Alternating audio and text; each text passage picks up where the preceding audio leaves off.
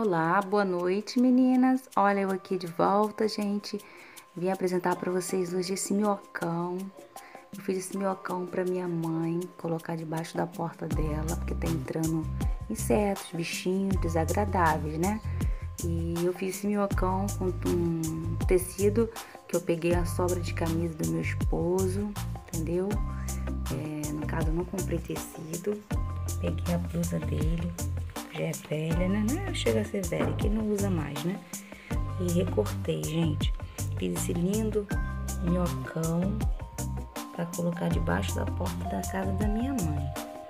Gente, coloquei esse véizinho aí, ó.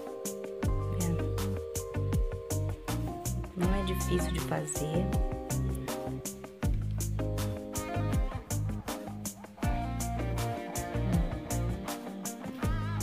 No caso aqui é 80 por 33.